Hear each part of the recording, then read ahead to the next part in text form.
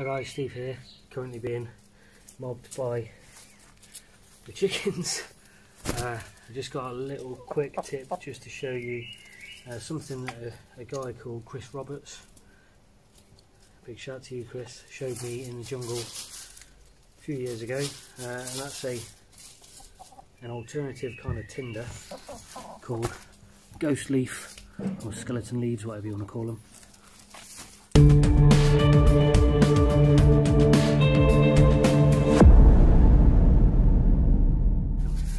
Bit of a flash tinder, but literally just as it is, get it in there, drop some sparks in it, and away you go.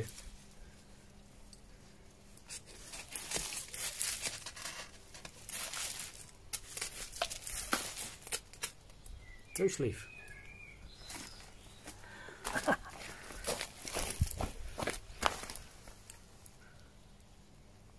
Wait, get away.